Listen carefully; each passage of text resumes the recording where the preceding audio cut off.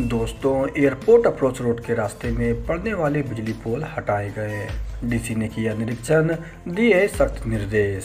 तो देवघर एयरपोर्ट के approach road सहित अन्य सभी शेष कार्यों को गति देने और समय सीमा के अंदर करने को लेकर जिला प्रशासन काफ़ी रेस में है। डीसी मंजुनाथ भजंत्री ने स्वयं पूरे कार्य की कड़ी मॉनिटरिंग कर रहे हैं। इसी क्रम में बुधवार को डीसी अचानक एयरपोर्ट स्थित अप्रोच रोड के कार्य को देखने के लिए पहुँच गए। कार्यों का जायजा लिया। उन्होंने ऑन द स्पॉट मौजूद कार्यपालक अभियंता को सख्त निर्देश दिया है कि राउंड द कॉलम काम करके अप्रोच रोड का काम तय समय सीमा के अंदर करे। डीसी ने कार्यपालक अभियंता से कहा कि अप्रोच रोड की जद में आने वाले सभी बिजली के खंभों को जल्द से जल्द हटा दें। साथ ही सड़क के बीच कन्वर्ट निर्माण कार्य को जितनी जल्दी हो सके पूरा करे। इसमें कोताही कतई बर्दाश्त नहीं होगी। निरीक्षण के दौरान संबंधित विभाग के कार्यपालक अभियंता, एयरपोर्ट अथॉरिटी के अधिकारी साथ मौजूद थे। दोस्तों 15 जून तक देवघर एयरपोर्ट के रनवे का ट्रायल उड़ान करने का निर्देश दिया। दोस्तों, देवघर एयरपोर्ट के उद्घाटन की तैयारी एयरपोर्ट अथॉरिटी ऑफ़ इंडिया ने शुरू कर दी है।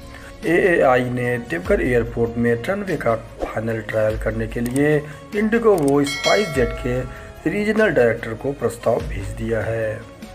15 जून तक दोनों एयरलाइंस कंपनियों को देवघर एयरपोर्ट के रनवे का ट्रायल उड़ान भरने का प्रस्ताव दिया है। ट्रायल पूरी तरह सफल हो जाने के बाद देवघर एयरपोर्ट से उड़ान शुरू करने का रास्ता बिल्कुल साफ़ हो जाएगा।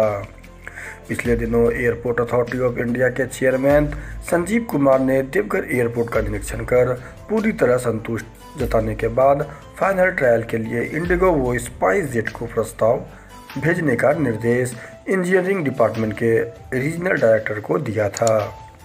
जिसके बाद ईमेल के ज़रिए दोनों एयरलाइंस कंपनियों को सूचित किया गया है कि कोलकाता से दोनों फ्लाइट्स ट्रायल के लिए देवघर एयरपोर्ट आएगी। चेयरमैन के निर्देश पर एयरपोर्ट परिसर समेत पार्किंग एरिया व रनवे के आसपास लाइट की संख्या भी बढ़ा दी गई है। साथ ही टर्मिनल के बिज़नेस लाउंज व वीआईपी लाउंज में सिटिंग अरेंजमेंट को बेहतर कर दिया गया है। उद्घाटन से पहले टर्मिनल के डिस्प्ले बोर्ड समेत सभी डिजिटल मशीनों का अपडेट किया जा रहा है। दोस्तों, देवघर एयरपोर्ट को पूरी तरीके से चालू करने के लिए यह अंतिम ट्रायल होगी जो 15 तारीख को होने वाली है। इसके बाद कभी भी उद्घाटन कर दिया जाएगा। हो सकता है कि यह ट्रायल के बाद ही वह तिथि बताई जाएगी जिस दिन देवघर एयरपोर्ट का उद्घाटन होने वाला है। दोस्तों, अब देखना यह है कि ट्रायल के लिए स्पाइस जेट और इंडिगो की विमान कोलकाता से कब रवाना होती है और कब इस एयरपोर्ट का ट्रायल लेती है।